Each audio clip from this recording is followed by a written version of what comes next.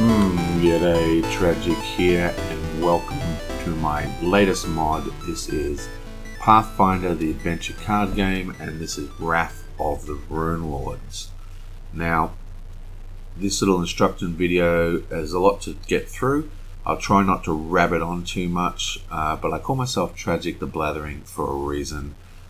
I tend to blather on, so I'll try and keep this under five hours long, shall we? So this is what you're greeted with when you load up the game. But if we have a look over here, this is where the cards are and all the, all the action is.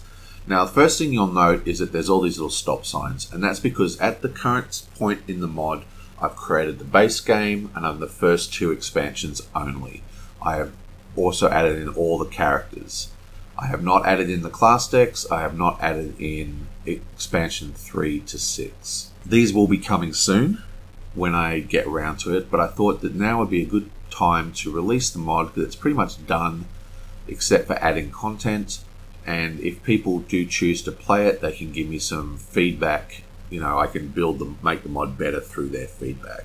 That's what those big things are, just to remind you. Now, the content is actually in these things, like all the content's actually in there, but uh, I just haven't integrated them into the scripting engine of the mod yet. Okay, so first thing you need to do is pick your scenario. So the base set scenario, like the B scenarios, are all in here.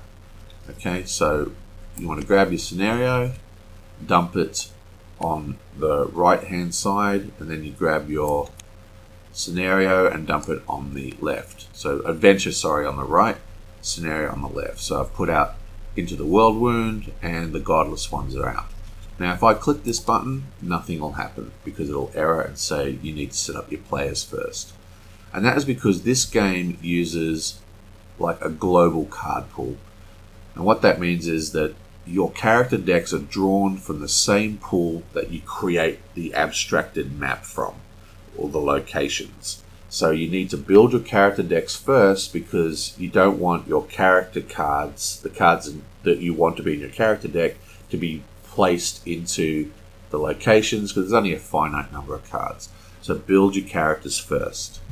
Now, if we look at the rules section, we'll just zap along to the uh, spot I'm looking for. The base set comes with these guys in red, okay? And then the character add-on deck adds four other characters.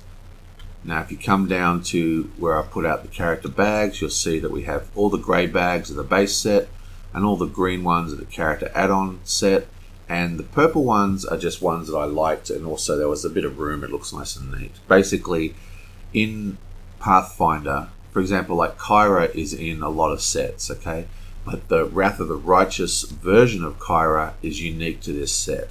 You can't use Rise of the Rune Lords Kyra in Wrath of the Righteous, okay? Well, not legally, not you know officially, but officially, the these little Goblin promo guys are completely generic and are allowed to be used in any set using official rules.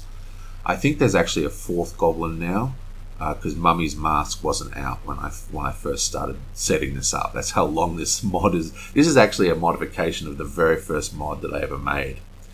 Uh, I I started rebuilding this for the, the new Pathfinder Second Edition, uh, and sort of got carried away. Anyway, whatever. The point is, these goblins are here as well. So all you need to do if you want to grab, say, this guy, you just jump him on the location you want him to play as, and you just hit place, and it puts them all out. It also puts out this little button that'll fetch the deck, or if you want to use your own deck and you click it, it'll delete that button, and then you just build your own deck. If you want to build your own deck, you can just right click on any of these, and you go search, type in basic, and it will actually just show just the basic files. That's a very quick way to just see the basic uh, cards to build your starter decks. I have actually integrated into this mod a complete deck builder, which we'll talk about later. Also, there's a little hero dispenser chest. If you pull this out, it says it shuffles it and basically you can just uh, use this to get a random setup. I like using random setups personally. I think that's left over from my days as a as an Arkham horror fan. But uh, you know, do whatever you want. So when you hit place, it'll just place them all out. If there's already an existing person, it'll just replace them. If there is an existing person and a bag, it'll just delete the other bag anyway. So even if I have this and I hit Kyra, it'll just put out Kyra and clean everything else up. So once you have your people out, oh, also there's a little bag up here near the rules. I've just called it tool, player tools. There's a few things in there, but one of the things in there is this little button called clear board, just in case you ever need it. If you just drop that on a board, it'll clear the board and send any, you know, uh, cards on it back to the base. Let's chuck this bin back in the bin.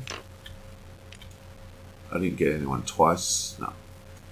Once you have your people out, if you hit setup, it's still going to error because not only do you need your people out, like I said, you need to build your physical deck. Now, if you look at here, even though they gave us all these characters, this game really only allows you to play with four. It's capable of playing six, but by default it plays four. If you want to play six characters, you have to add in more cards.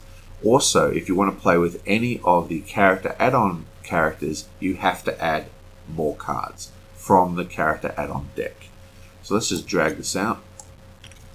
And the first thing you drag out of this bag is the entire character add-on deck as one big block. This is the easiest way to do it. All you need to do is drop that into the bin and it will send all the appropriate cards to the card pool and bam, you're ready to play. For people who are more advanced, I have split them up into sections so all the Banes are in their individual decks here, and all the boons are in their individual cards here. The first thing you draw out of the boon, the boon bag is all the boons in a single deck. But you know, if you just want to have just the blessings or just the, uh, you know, the the allies or whatever, that that's in there as well. You have, if you play six people, you have to at least, at the very least, add the extra henchmen. Now, there's also a promo decks here. Now, the promo cards are pretty rare. Uh, I'm not quite sure how easy they are to get. All I know is that some of the scans are atrociously bad. Uh, I've got all the promo boons, promo banes, and then the iconic heroes. I'll talk about them last. I've also got them the iconic hero cards without any script, so you can just drop that straight into the bin to add them to the pools. But I'm just going to add the boons and the banes and uh, get rid of these. So the iconic hero cards were special cards that came with the miniatures and they're really powerful. They don't really have, you know, they're not basics or elites or something. There's, there's this weird, they're a weird type of card and they've got this thing called owner. And that means that if you have the owner trait, like this one says Ezren. This one says Oloch. This one says Balazar. If you have the owner trait, you can use this as if it was a basic in your starting deck for that character only. So there's a couple ways to use this deck. For starters, if you wanted to just use all the cards, just drag out the uh, iconic hero deck that doesn't have any script on it and you just drop it in the bin, it'll be sent to the correct locations. Okay. The other way to use it is to drag out the scripted one, and if you press this button, it'll fetch from that deck all the cards that are owned by your current team. And then you can just chuck the, the deck out. And I'll show you, and I'll put that in a bit later. So now what we have is we've got our team out. We've got our scenario, our adventure picked. We've got our scenario picked. Let's hit the setup button. But oh wait, it's still erroring because it's you have to build the decks first. So all you got to do is press the fetch buttons and it will fetch the default decks. So up here, uh, up here you've got like these default uh, decks, you know, like recommended decks just to get you started. Uh, that's what these buttons are fetching. Okay, so say if you if you have Balazar but you want to use your own deck, just click your own deck and it'll actually just delete that uh, button and you can build your own deck from scratch. I'll just fetch this one, I'll fetch this one. Now, I have built a deck builder to help you build decks and I'll go through that later. But for now, there's some other little tricks you can do. Like if you right click any of the decks, just go search, you can just type in basic and it'll show you all the basic cards. And that's a, a quick way to uh, modify your deck on the fly if you want to. I'm just going to pull out the Balazar default character and replace him and just fetch his deck. Okay, so the way the scenario set up, you can see also actually on the left, uh, see how it's got like a big readout of the deck that's been fetched? If you're missing decks, if you're missing cards, it'll just error and tell you what cards are missing. So that's a really quick way you can, you know, fix up your your uh, your decks if there's any problems. So now with the iconic heroes, right, we're playing with Balazar. We've got Balazar's hat. That's an ally. So all I need to do, I can just search this and get rid of one of the allies. Let's get rid of the vulture and I'll give him the hat. We've got Earthbreaker. That's a great weapon for Crowe. Crowe is down here. We'll just search here. We'll pull out his long spear. Actually, we'll pull out his mace. Is that bludgeoning? Yeah, we'll pull out his mace and put in his thing here, and so on and so forth. And like, you just do that for all the different, uh, you know. And as you can see, some of these cards are pretty terrible quality. And it's because they're quite rare. And I think some of these are, like this one here, I know is actually taken from mobile phone scan on eBay of the guy selling the card. So it's pretty bad. Some of them are good though, you know. And I have actually rebuilt a couple of these cards for my current game that I'm playing. Like I search this deck.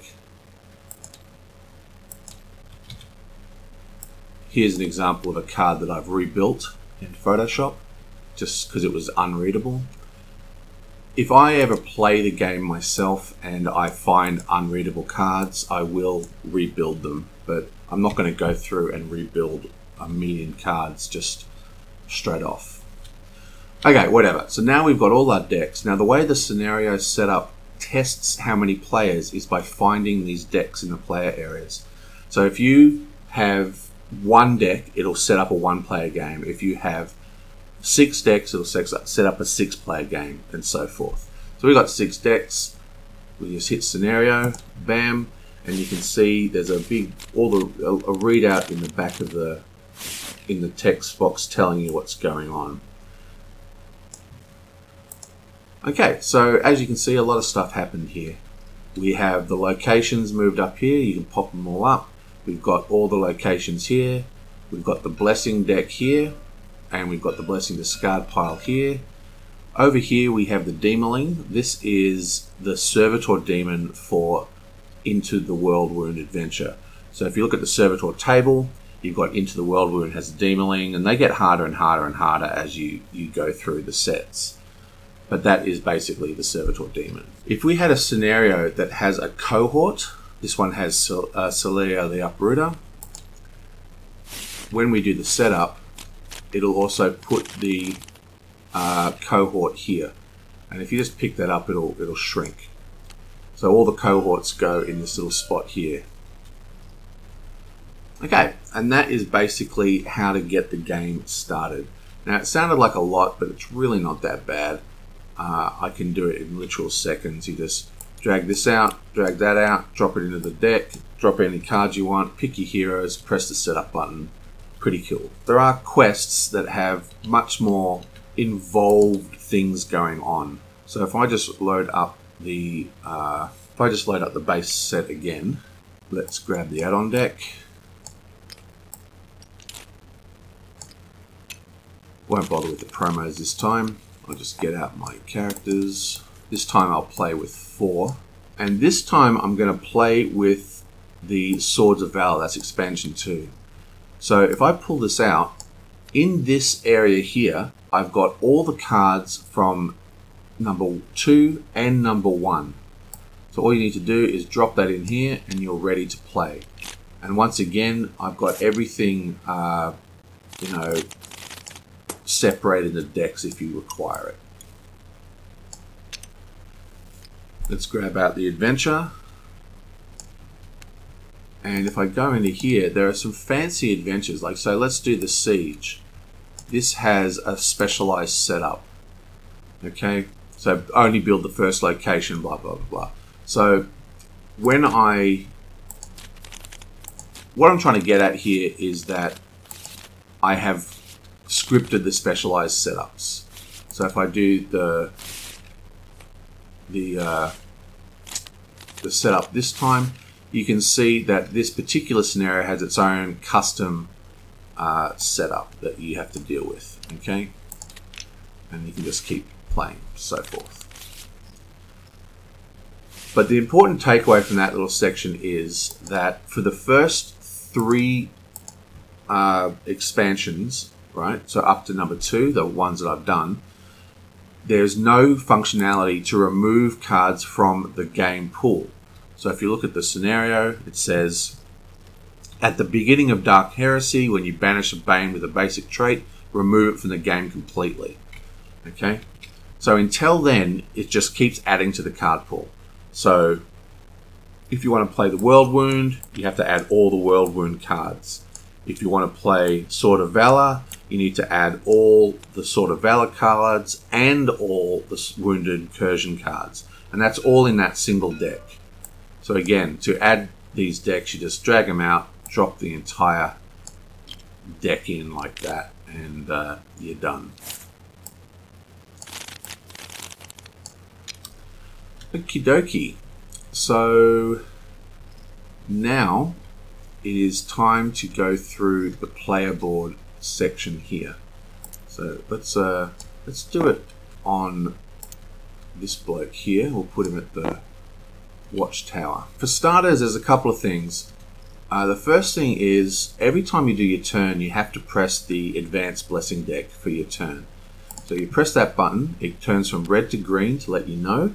And if you look in the chat window, it actually outputs a little uh, output telling you what the, the deck is. I actually like to kind of get the chat window and just sort of make it small and stretched out when I play, just so I can see what's going on. So this one is saying that the neck the, the current blessing is blessing of Shax and it's corrupted. And you can see that up here. Blessing of Shax and it's corrupted. And this will stay green.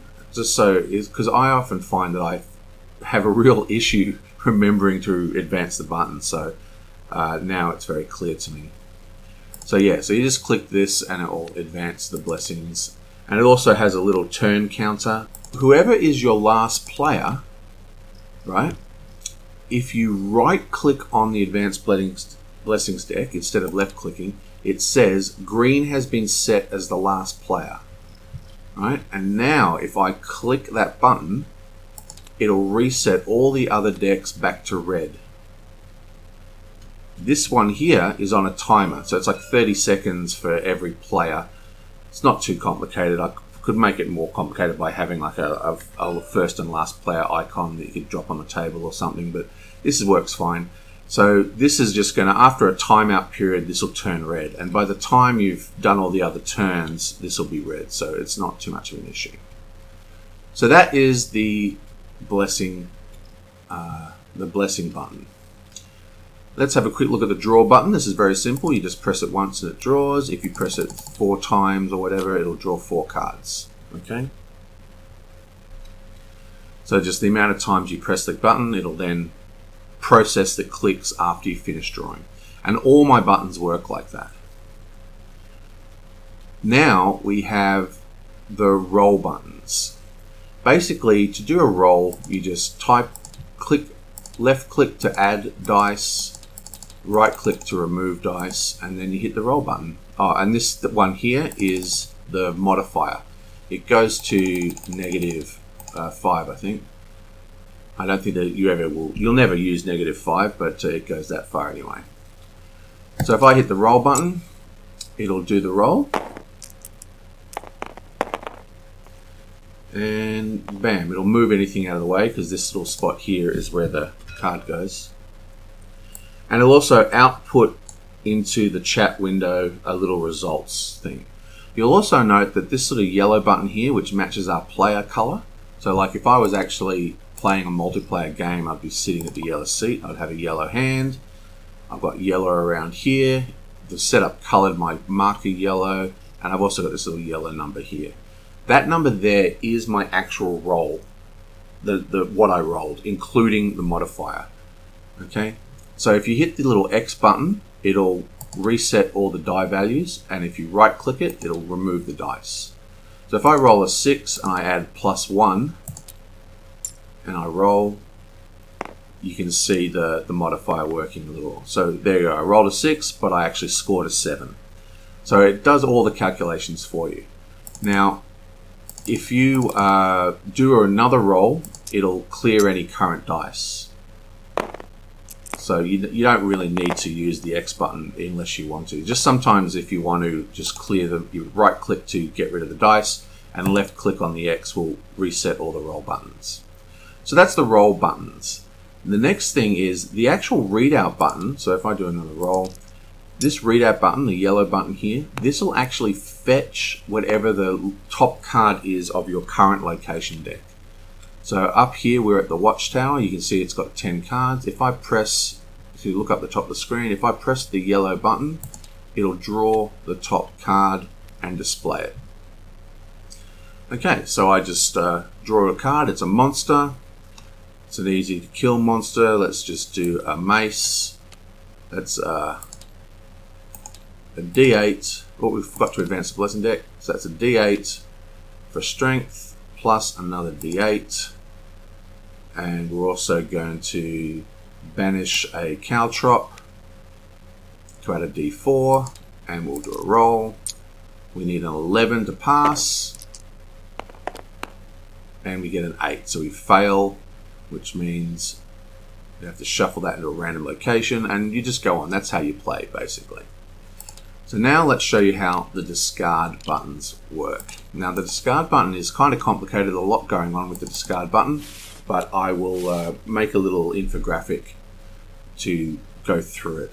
Basically, anything that's placed in this area here, so if I just draw uh, this area here, anything that's placed in this area here is returned to your hand when you press the discard button. Okay? Anything in this area here is either recharged or discarded to the discard pile.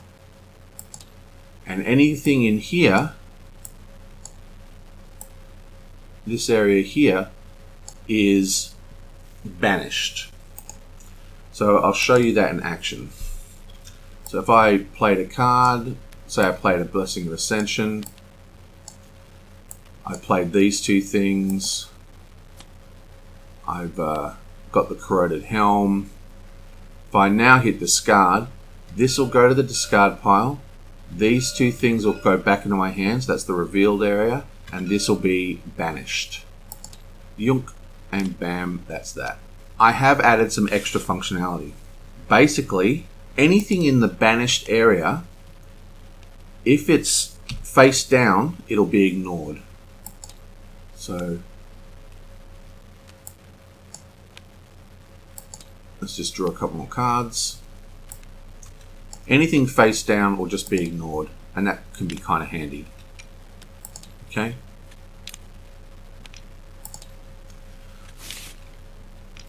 But in the play area where you're playing cards, anything that is face down is going to be recharged.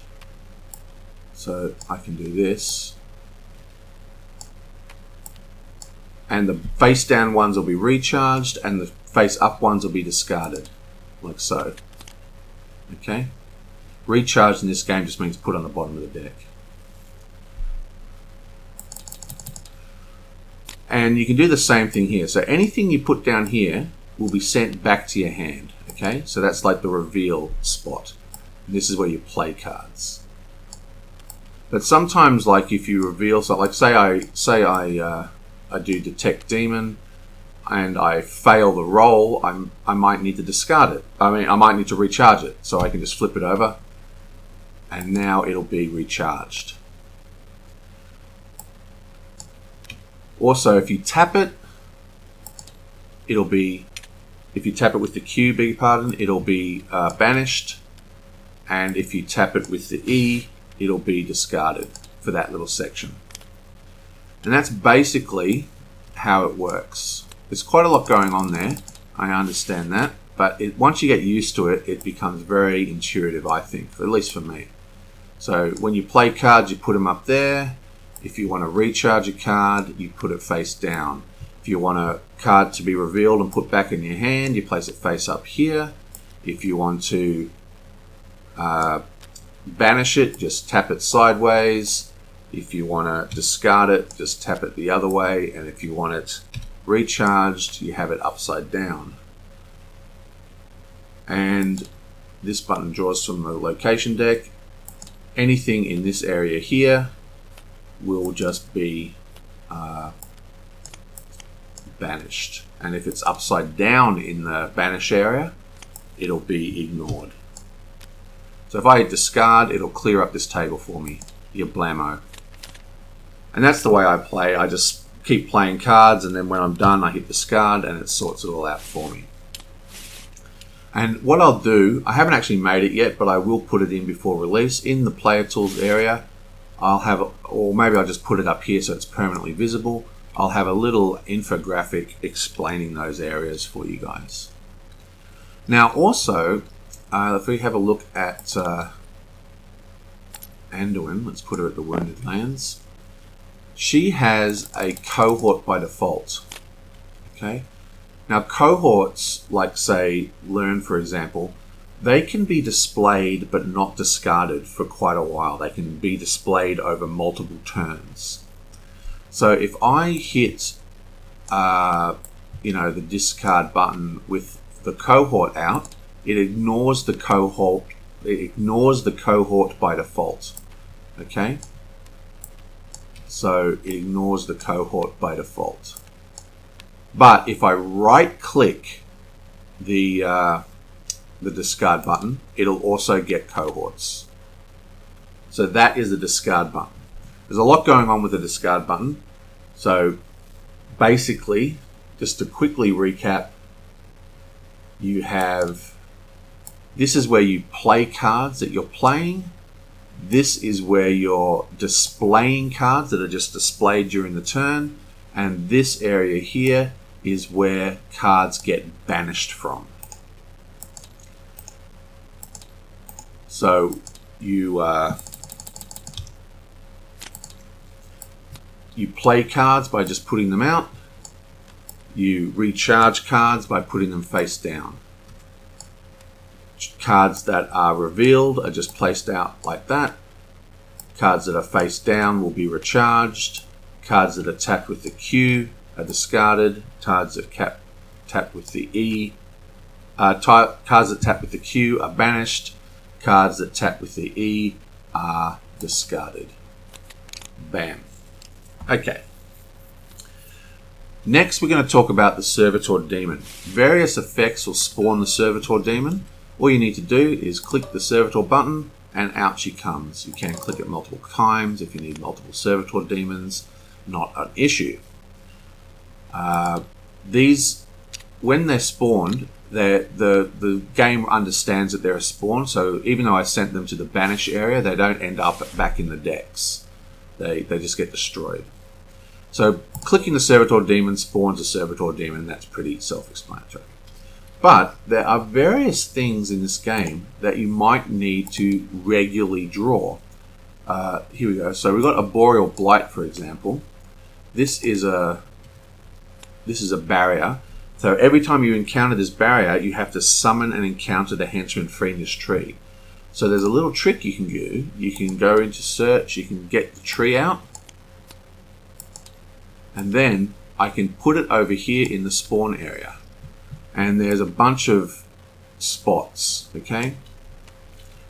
So, we have the guard house? Yeah, so here's the guard post, right? At the start of your turn, you must summon and encounter the henchman corrupted soldier. So let's get him as well.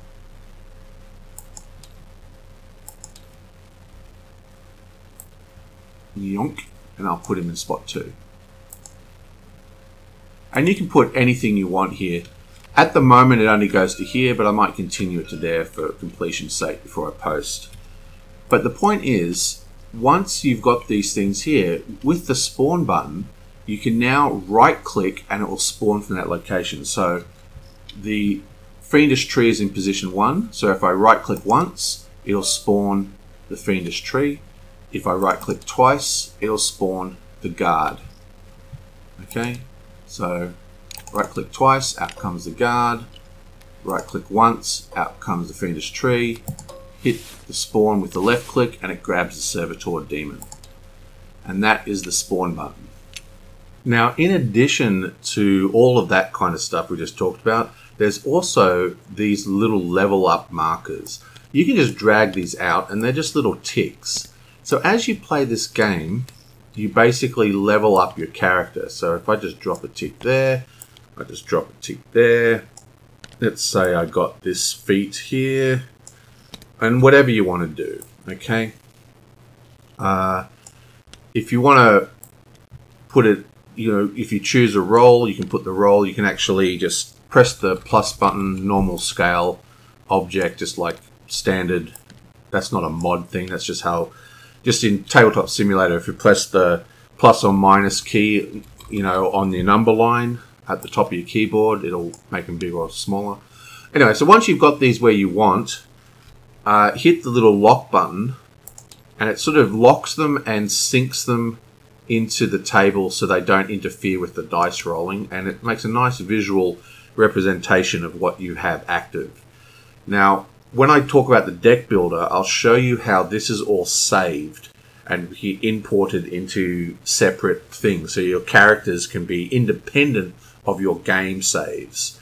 And uh, we'll get into that in a sec. But that's just how the uh, the tick function works. So, oh, and if you make a mistake, you can just right click the lock button and it'll unlock them. So, I actually wanted that over there. I used the uh, the shadow as a as a guide. Boom, there you go, bam. Okay, and there's just one more thing about the player boards. Basically, uh, the player board has this little button here over the actual card image. If you click this with the left button, it'll zoom to your pug. If you click the button on the pug, it zooms to your player board. This just makes it a little bit easier to zoom around the place. So say I'm playing her, I want to have a look at my location. I can just click that and it will zap to my location very, very easily. And I can click back on the pug to zap back to my uh, deck, uh, back to my player board. You can also right click on the player board to zoom into the player board. So say I want to zoom in over to uh, Eleanor, I can just click on Eleanor like that. Click on her to go to where she is, whatever. So that's just a little uh, quality of life feature. So click on Honora to go to Honora, click on the pug to go back to the board, and if you right click on her, you zoom into the board.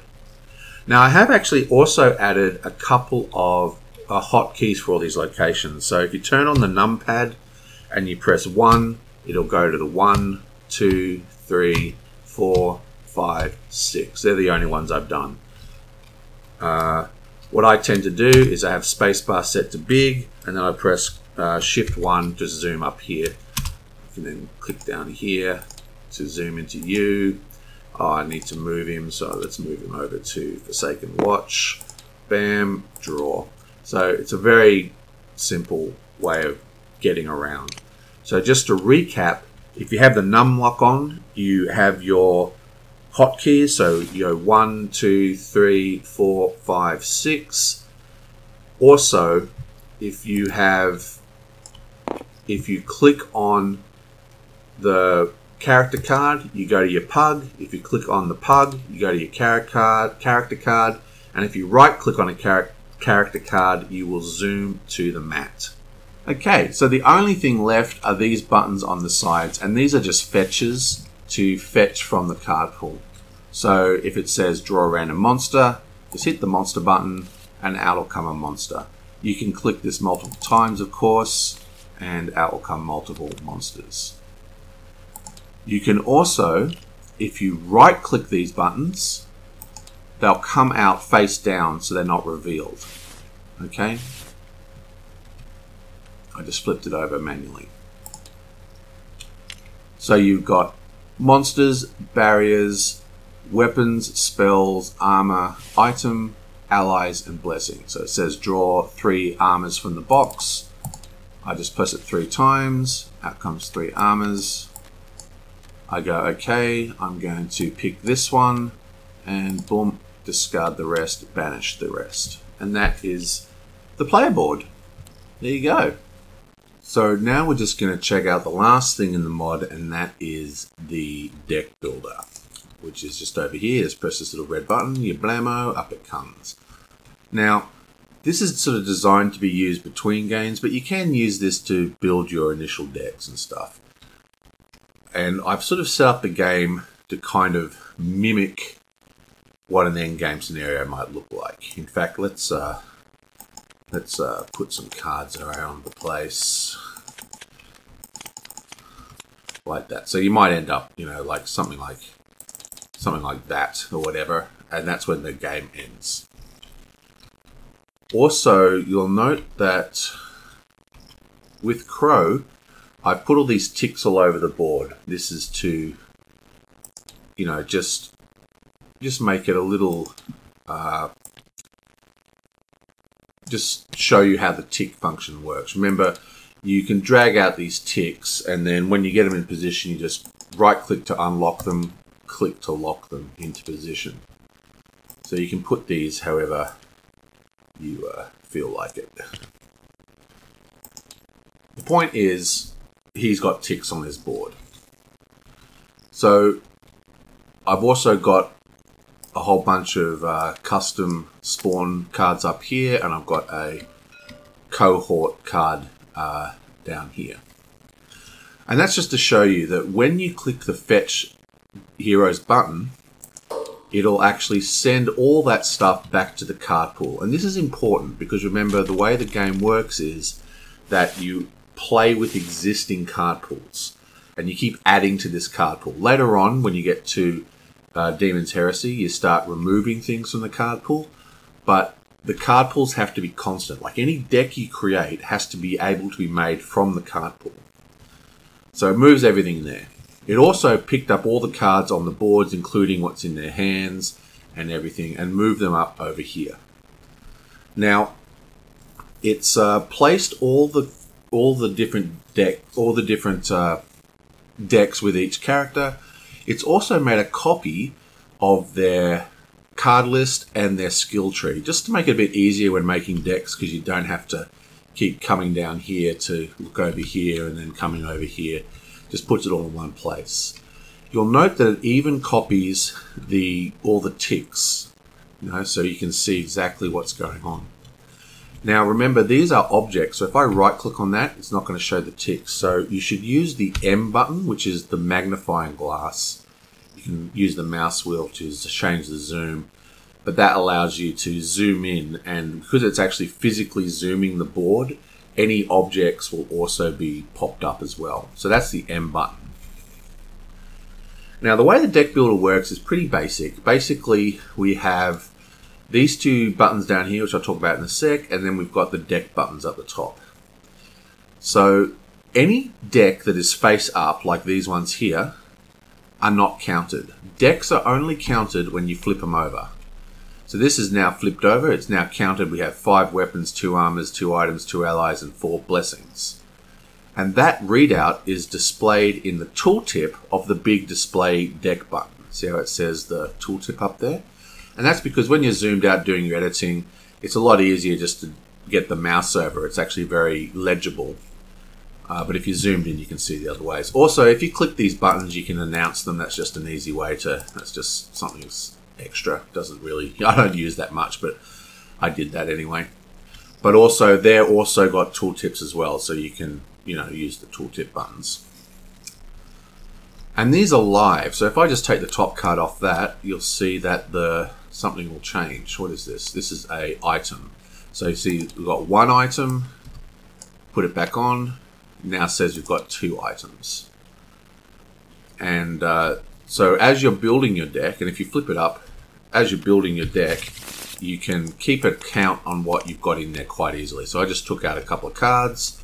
I took out one blessing and two weapons. So now it says three weapons and three blessings. Put them back in, four weapons, five weapons, and four blessings. In addition to that, you can actually click the display button itself and it will flick out the whole deck into here and put it in order, like split it into the into into lines based on the objects. So you can see exactly what's in the deck. And these decks are very editable. Like uh, basically, if I put anything in there, like say I go over here and I just uh, grab some spells, one, two, three. If I get these spells, say I'm doing my deck editing, I go, okay, I want those spells. I can just grab them, chuck them over here. And when I right click display deck, it'll pack them all up and anything in there. So you can be very rough with how you do cards. Basically, anything on this board will be added to the deck. You can see that they're in there. And also, of course, you can see that the display now says three spells. It says three spells down here. So that's one way to edit your decks. You can also also just go search and just pull things out and pull things in. It's all up to you. Now there is a function in uh, Pathfinder that says if you are unable to make a legal deck out of your current card pool, you can use any basic card from the card pool to fill those gaps. So you can right click on the spells, go search and just type in basic, right? And you see all the basic cards, right? Alternatively, you can click this little button up here and it will just fetch all the basic cards from all the decks. Okay, so this deck here is nothing but basics. I can now hit the place button and it'll fan out the cards in a nice easy to read block for us. So again, I could display Husk's Husk, de Husk's desk deck. God, I can't even speak you know, and I go, you know what? I want to give him the journal instead of this thing, and I'll give him uh, this thing here instead of this thing here, right? Then I can right click to pack them up, right click to pack them up, and so forth.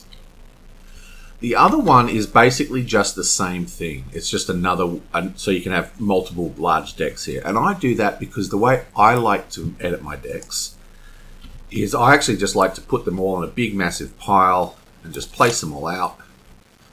And then I can uh, see my entire card pool and get a better idea of what I'm going to be doing. Now, it's hard to see because I'm just using the basic decks. Let's just grab a whole bunch of blessings and just make sure we only grab non-basic blessings. Oh, very low. Oh, that's right, because I've taken all the basics out, haven't I? Okay. So let's, we've got four, eight non-basic blessings now. So right click to pack up, left click to place. What this, what the deck editor when it fans will do is that anything that's not basic will start on a new line. It doesn't separate elites and veterans and all that kind of stuff because it would make the list too long. But it just means that at a glance you can see what are basic cards and what are not basic cards. So all basic cards are on a different line. It does put everything in alphabetical order as well. Now, the, a little trick to making your decks, besides using the display deck button, is the face up, face down thing. So, for example, say I'm doing, uh, say I've got a bunch of cards already selected, okay? So they've all got a, a bunch of cards already selected. So I've gone through my editor and I've gone through my list and I've already selected these cards and I'm happy with these cards. So I've turned them over and added them to the deck. Now say I want to come over here and do my weapons. He gets five weapons. So I can actually pick the weapons, one, two, three, four, five, and I can place them, but I place them face up.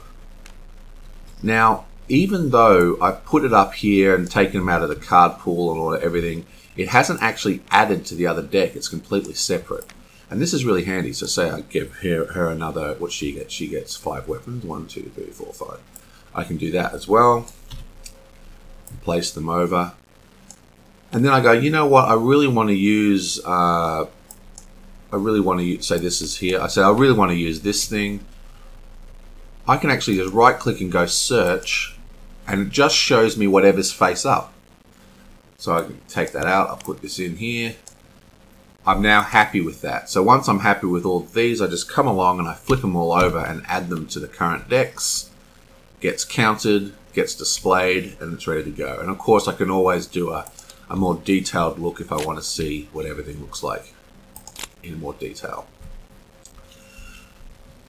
So these buttons here, again, it's right uh, one click to place, right click to pack up, click to place, right click to pack up. These will also understand if there's something out. So if I just do a left click on the other deck, it'll actually pack up the first deck before it displays.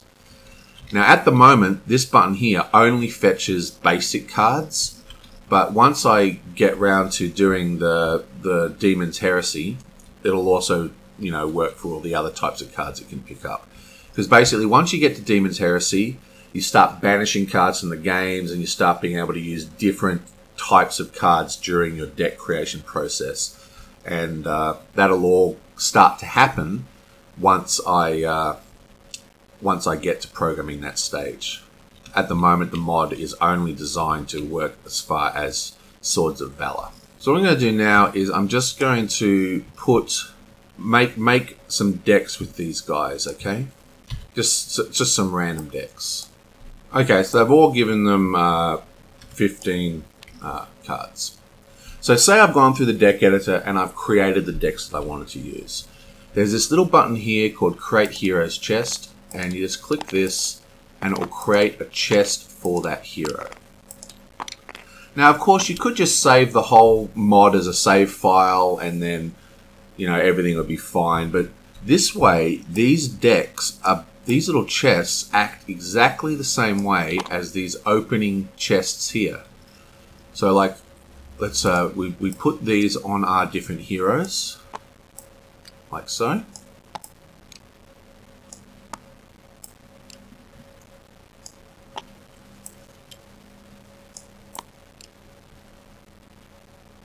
And you just hit the fetch button and it grabs everything on the board. It also grabs the pug up the top. You can see the pugs disappearing. And really importantly, it grabs all the ticks, everything as well that you've leveled up your character. It's all placed in here. And then finally, you've got the chest dispenser you can bring out. Now, what's interesting about this is, is that this deck contains everything on the player board for your characters leveling up, plus it contains a button that creates the deck out of the current card pool, which is down here.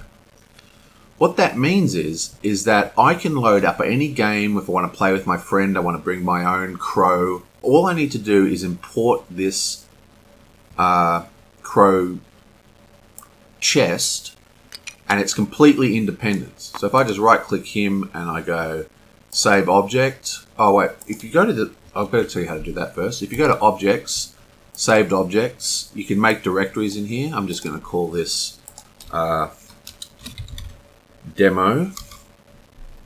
So I can right click this Crowe thing and go save object and save it into demo and I'll just call it Crowe max level.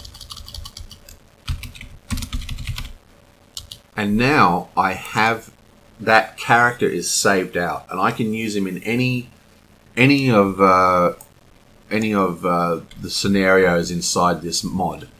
All I need to do is import him out and place him. In addition, if I hit the fetch card pool button, it will fetch all the current decks, plus it'll fetch the current card pool being used which is important. Because if it fetches the current card pool, it'll also fetch the, the graveyard. Because remember, when you build decks, it's sort of additive. So if you've done special things like you've added cards from the class decks, you've added promos, you've added character add-on cards, you've added your own custom cards, whatever you've done, if you use the fetch current card pool, it'll save all that as well. So if I press this, it'll error though, because it says you have not closed the deck editor. And that's because all these cards are actually part of the current card pool and they need to be returned before you can save the card pool. So I'm going to click, uh, not fetch, I'm going to click uh, close deck builder, be pardon. And that will close and send all the cards back to the card pool. And now I can just hit fetch cards and it will build my chest for me. So I'll rename this. I'll call this demo uh, demo chest. I'm going to save that. Demo all chest. Okay, and that's it. I've saved the card pool, I'm ready to go, this is ready to go. Now, if I actually just load up the mod, so this is loading it raw off the workshop. So I've just loaded up the mod raw from the workshop. Now, normally, I would need to rebuild my card pool, have to put in the character out on deck, put in my promos, but not anymore. All I need to do is go object, saved objects, and drag out my all chest like so. I have my saved heroes chest, which will shuffle when you load it, which means you can do random placements if you like. And then I just drag these out and place them. Just like I did with the, the bags at the very beginning of this video, if you can remember back that far. so let's place these guys out.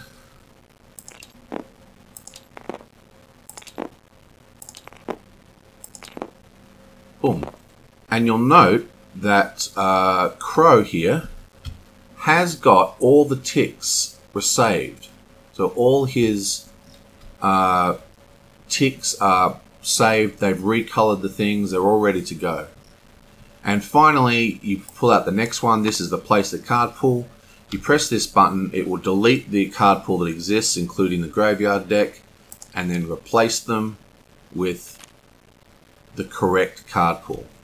And now you should just be able to grab your cards and you're ready to play.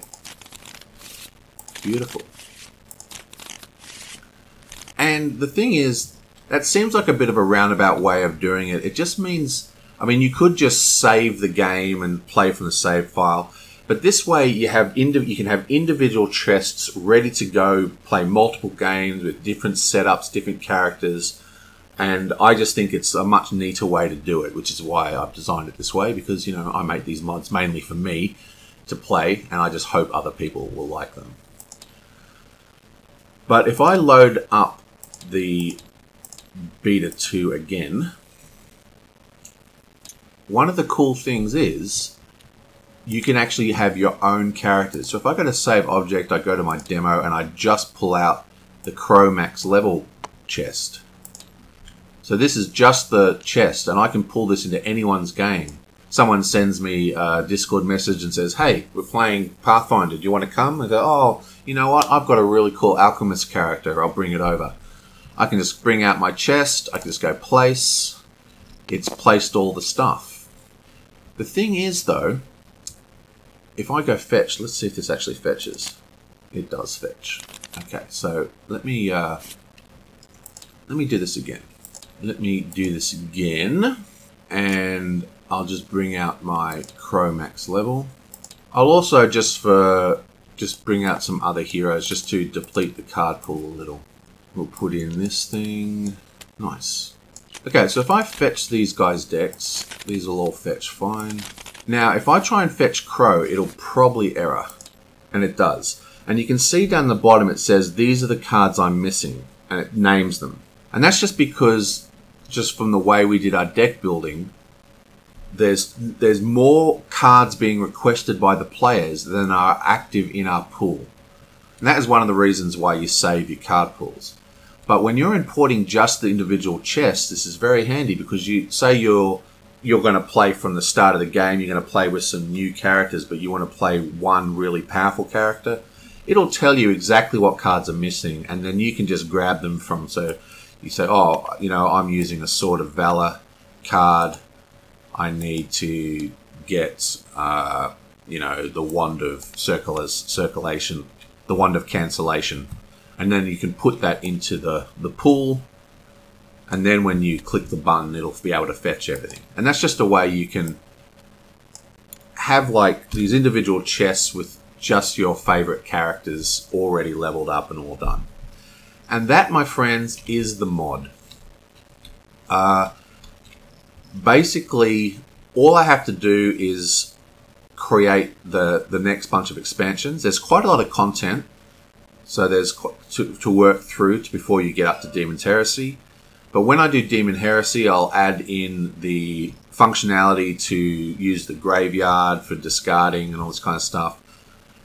And that's all going to be done soon. I also have decided I will be adding in the the character decks. I was having a look at these character decks and they're actually really awesome. Basically, the character decks, they all come with three characters and they all come with their own sets of cards that can get added to the pool that you're playing with.